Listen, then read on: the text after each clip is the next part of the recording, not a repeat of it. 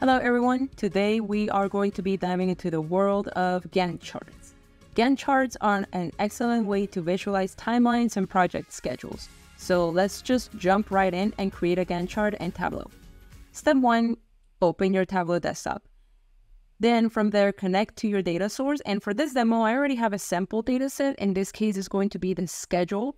It is a super simple data set where I'm just detailing um, daily things that a person can do sleep, eat, watch TV, and all that stuff.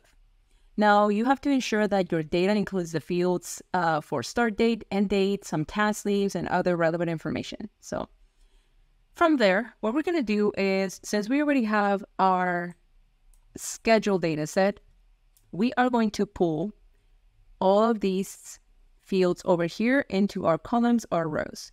Now you may, you may be wondering, how do I know how to create a Gantt chart? Now Tableau makes it really easy. If you see here, there's a show me, kind of like a small tab showing here, and it tells you what you need for each specific graph.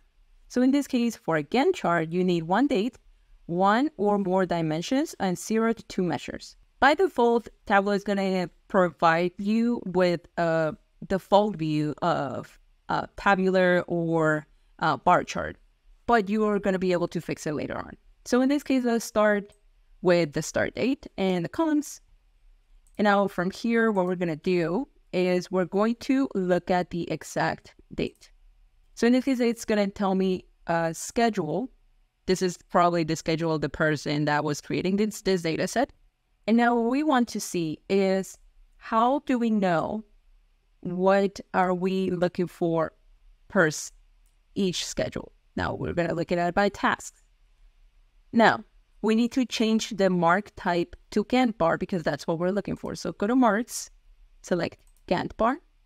And now we are going to drag our finish into our columns, but right after the start. So in this case, kind of like it got backwards. Now that you change it to the correct position, don't do what I did. You're going to have your start, your finish. Remember that finish has to be in the exact same way as how we have start in the exact date. And now what we want to do is get size for each of these measurements.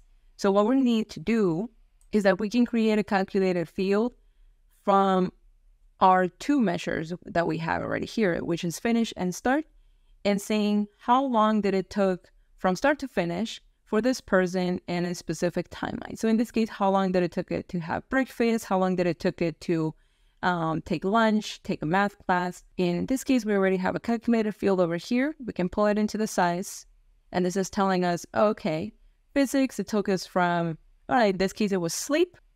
You have also physics, you also have nap. So you have all this here. And now what we're going to do is we're going to take it a step further. We're going to bring the category into the color. Now you can see here, eat, homework, music, play, and rest. We already have it categorized for our Gantt chart. And there you have it. In just a few simple steps, you created a Gantt chart in Tableau to effectively visualize your project timelines. Now feel free to explore additional customization options to tailor the Gantt chart to your specific needs.